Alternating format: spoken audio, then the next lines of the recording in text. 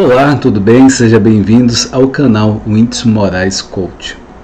Para você que não me conhece, eu sou Whindersson Moraes, sou psicólogo, psicólogo clínico, também coach integral sistêmico, formado pela FEBRACIS, Federação Brasileira de Coach Integral Sistêmico, onde o presidente é Paulo Vieira.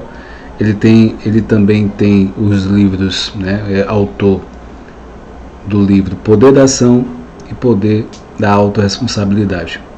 Além disso, eu sou analista de perfil comportamental, empreendedor digital, amante da vida e aprendiz.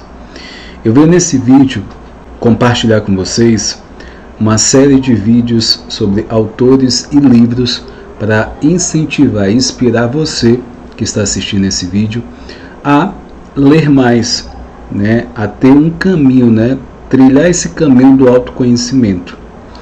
Quanto mais você trilha pra, por esse caminho, mais você vai realmente se aprofundar nesse conhecimento, ter mais resultados, é, se relacionar melhor. Quando eu falo isso, eu estou falando em várias áreas da minha vida e da sua vida. É, a partir desse momento, o conhecimento vai nortear você processo de terapia, processo de coach, tudo isso.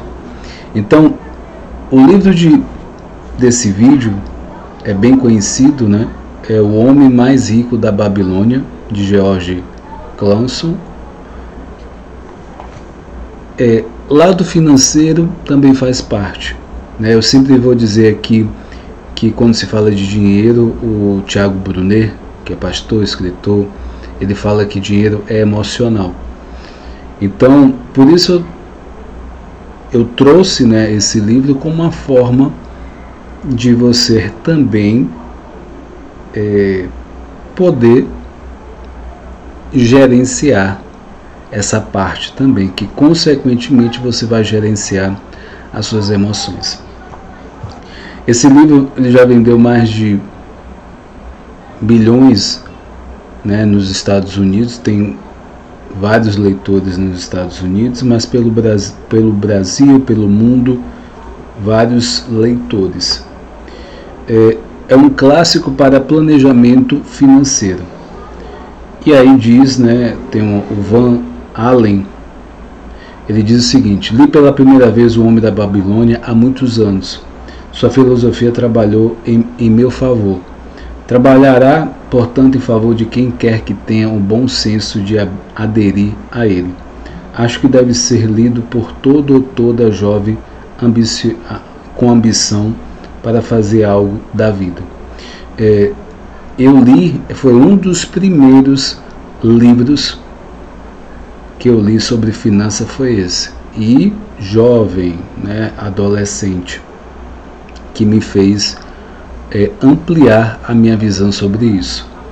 Eu vou trazer alguns conceitos e é bem interessante eu trazer para você. Então, o que, que esse livro traz?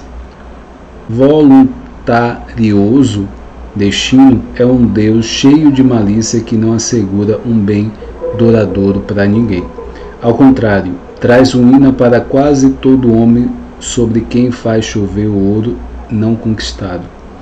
Ele produz os gastadores libertinos que logo dissipam tudo o que recebe e se deixam dominar pelo, pelos mais extravagantes apetites, que nem sempre podem satisfazer. Outros ainda a quem esse capricho Deus favorece, tornam-se avarentos e entesouram sua riqueza construindo para si mesmo uma vida de necessidade e tristeza. Partindo desse princípio, esse livro conta a história de Hakat, Hakad, o homem mais rico da Babilônia, e traz soluções sábias e bem atuais de como podemos evitar a falta de dinheiro. Nas palavras de Hakad, muitas coisas podem enriquecer a vida de um homem com vantajosas experiências. Aqui estão algumas resoluções que um homem deve tomar e se respeitar se respeita a si mesmo. Ele deve pagar suas dívidas com toda a pontualidade de que for capaz, não adquirindo nada que não tenha condições de saudar. Deve cuidar da família de modo que esta possa pensar e falar bem dele. Fazer um testamento a fim de que, caso os deuses o chame para si, possa ser feita uma divisão adequada, honesta de todos os seus bens. Deve ter compaixão pelos que sofrem e foram atingidos pela desventura e ajudá-los na medida de suas possibilidades. Deve ter atenções com os que lhe querem bem. E o último remédio para a falta de dinheiro é cultivar suas próprias aptidões, estudar, somar conhecimentos, tornar-se mais habilidoso e agir sempre respeitando a si mesmo. Dessa forma, adquirirá suficiente autoconfiança para realizar seus mais acalentados desejos. Então, esse livro ele, ele traz princípios, né? Bem interessante. E eu vou trazer tem algumas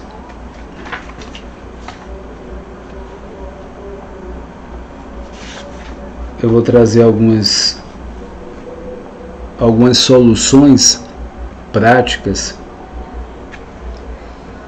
Na verdade é um pouco conceitual mas vai se tornar prática no momento que você de fato praticar isso tá? Existem várias formas de praticar isso. Ele traz assim, a primeira solução né, para a questão em relação ao dinheiro, você comece a fazer seu dinheiro crescer. Né? A gente vai falar que é fazer o dinheiro se multiplicar. Então, se isso você pode fa fazer buscando uma renda extra, buscando, gerando, é, vendendo coisas usadas que você tem em casa, que não usa mais, o dinheiro está parado, entre aspas. É, segunda solução é controle os seus gastos. Então, a forma de você gastar também vai falar de você. Terceira solução é multiplique seus rendimentos. Também é uma forma de você ampliar isso. Quarta solução é proteja o seu tesouro contra a perda. Quinta solução: façam do lar um investimento lucrativo. Então são alguns tópicos, né? A sexta solução assegure uma renda para o futuro, ou seja, você é, separar uma renda que na, na linha financeira a gente vai falar que é uma, um dinheiro emergencial né, para que possa prover algum imprevisto, alguma coisa que esteja que sempre pode acontecer um imprevisto, né? E você tem esse, esse dinheiro de emergência. Tem a parte que eles falam é, que é, é preciso você ter um dinheiro de emergência que você possa viver até um ano, talvez seis meses, se caso você perca um trabalho, não tenha renda durante seis meses ou um ano, por exemplo. Então é uma forma, né, um planejamento financeiro que você pode fazer. A sétima solução aumente a sua capacidade para ganhar. Então, é, o conhecimento, o se capacitar para isso também vai nessa direção. E agora, isso trazendo pontos do livro, tá? Alguns pontos que são um dos principais. Em detalhes, você lendo o livro, você vai ter esses detalhes. É, eu vou trazer para vocês as, as leis de ouro que é muito importante. vou trazer algumas, não vou trazer todas, para que você também leia esse livro. É, a primeira lei de ouro é: o ouro vem de bom grado e uma quantidade crescente para todo homem que separa não menos de um décimo de seus ganhos, a fim de criar um fundo para o seu futuro e de sua própria família. Pegando um pouco a, o conhecimento da Bíblia, ele fala dos 10%. Então, da mesma forma, existe um, um percentual desse valor que você também vai tirar para si. E também né, você pode tirar um percentual para o seu futuro, a sua família, enfim. Você tem como planejar isso. Mas eu quero ressaltar aqui: tirar um valor para você e pode tirar um valor para o seu futuro, por exemplo. Tirar um valor para o seu conhecimento. Então, isso são formas de você também investir em você. A terceira lei de ouro. O ouro busca a proteção do proprietário cauteloso que investe de acordo com os conselhos de homens sábios em seu manuseio. Então, é, você buscar um mentor, um conhecimento, é o que é sábio fazer quando se trata né, de, de dinheiro, mas tudo aquilo que você quer se direcionar e direcionar bem. A quinta lei de ouro: o ouro escapa ao homem que força os ganhos impossíveis ou que dá ouvidos aos conselhos enganosos de trapaceiros, fraudadores ou que confia em sua própria inexperiência e desejo romântico na hora de investir. Que aí volta a questão né, de você ter um conhecimento. Se você tem um conhecimento, você não vai cair nessas fraudes ou essas coisas que talvez não seja segura. Né? Esses são alguns pontos né, em relação a isso. O livro também traz a questão da ideia de empréstimo, que eu achei bem interessante, como é que o, o autor vê essa questão do empréstimo e outros tópicos importantes também. O que eu quero enfatizar é a importância de você trabalhar o seu lado financeiro. Além disso, trabalhar o seu mindset, a sua, a sua mentalidade que deve ser eliminada.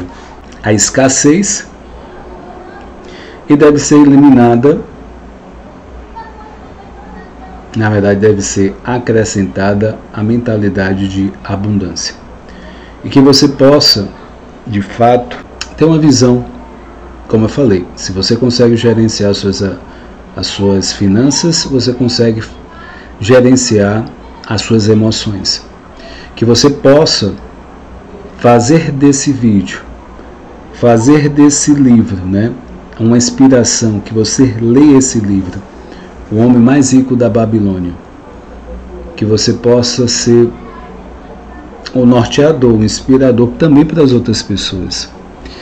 Eu sempre costumo dizer que o livro não vai substituir uma terapia e um processo de coaching. Ele trabalha 15% que é o racional, o cognitivo, e 85% é trabalhar na terapia, um processo de coach, que é parte emocional. E que você possa né, trabalhar de uma forma aprofundada. E que você possa ter uma visão de futuro muito melhor do que você está tendo hoje. O exercício da leitura amplia a sua visão. É meu, um dos meus convites para esse vídeo. Se você curtiu, fez sentido para você esse vídeo, curta, compartilhe se inscreva no canal, me ajude a levar essa missão do crescer e contribuir para mais pessoas. Forte abraço, até mais.